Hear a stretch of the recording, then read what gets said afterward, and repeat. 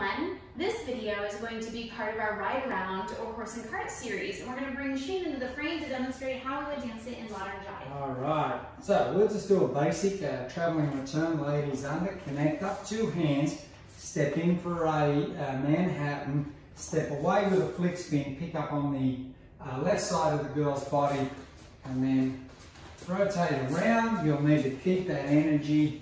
Then I will rock the girl back and then free spin off.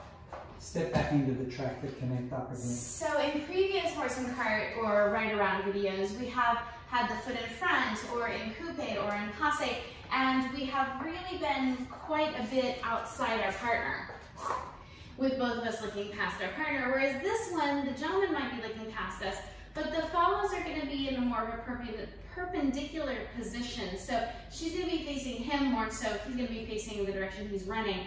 That way, like an ice cream cone, our body weight can offset one another in a way where she still feels comfortable putting the leg behind her. We can do lots of different legs, but right now we'll extend the legs. So let's talk about the connection for a minute. So if you hop into your position where you would be, because I'm going forward, mm-hmm. and we've got to have a little bit of a way. So Keri's really filling the space here and connecting that upper body to the hand, and then she has her right hand on my sort of rib area.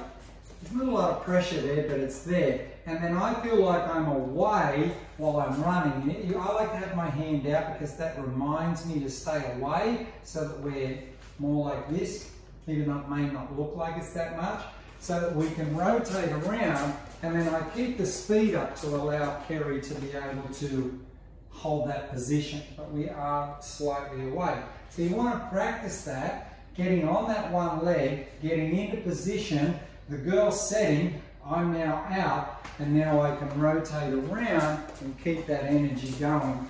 And you'll have to practice a little bit to find that um, counterbalance. Counterbalance, thank you, counterbalance.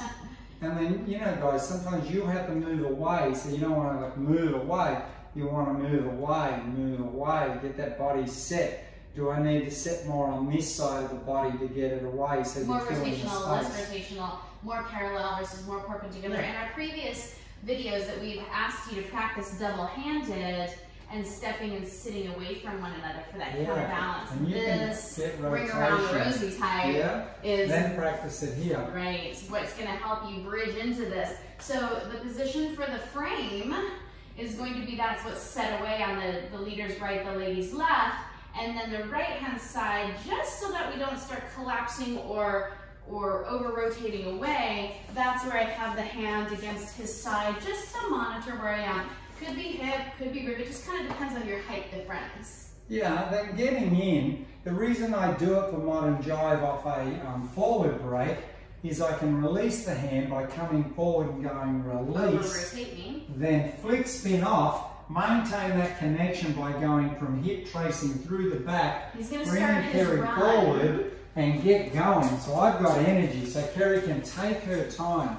I want to show that again. So we did our break, we flick spin. I'm moving and she's taking her time. Oh, I go, she's connected and away we go. Because that's the way he gives the suggestion that we do this type of move. Yes, I could drop into it and ask him to run, but he can also start to run and encourage me to drop into it. So if we just do it from the rock step here with the double hands, over rotation, roll in, he runs, I go, oh, look at that, I can drop and sit right into it. Noticing, girls, when I'm really dropping into that knee, I'm not trying to stand a straight leg at all. The other one that I did say that we could go ahead and style would be rather than the long or arabesque leg behind, we can be doing the attitude leg behind. Of course, you can pull it into the coupe and passe, but we've gone over that in another video. Yeah, so keep enjoying the movements. If you have any questions, don't be scared to send us an email, drop us a little note.